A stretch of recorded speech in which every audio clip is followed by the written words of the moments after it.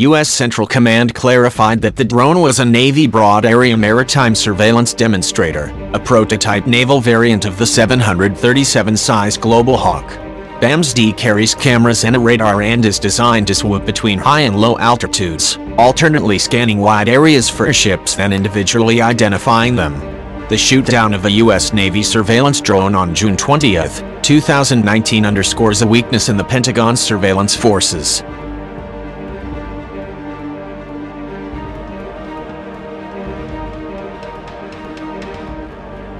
Aside from a few classified vehicles, the U.S. military largely relies on slow, non-manned and unmanned aircraft for intelligence, surveillance and reconnaissance. Those ISR systems are vulnerable to the latest Iranian, Chinese and Russian air defenses.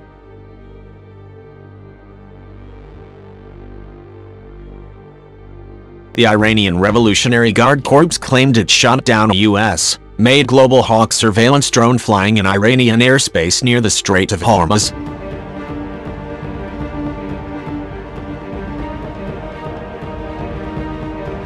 U.S. Central Command clarified that the drone was a Navy Broad Area Maritime Surveillance Demonstrator, a prototype naval variant of the 737 size Global Hawk.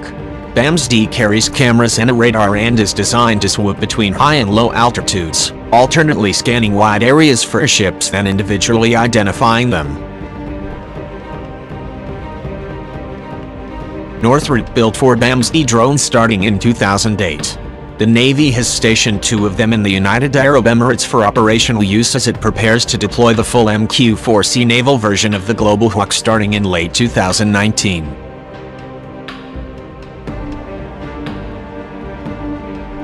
While it can fly as high as 65,000 feet, beyond the reach of many air defense systems, the BAMS-D is subsonic and lacks stealth features, making it vulnerable to the most powerful surface-to-air missiles.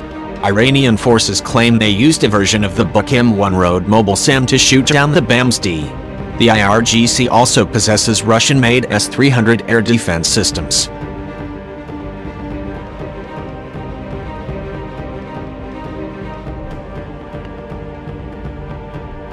U.S. Air Force U-2 manned spy planes, RC-135 manned electronic intelligence aircraft, E-3 manned radar planes and RQ-4 and MQ-9 drones as well as Navy MQ-4C and P-8 patrolled planes hundreds of aircraft, in total all are what the military calls non-penetrating, meaning they are vulnerable to high-end air defenses.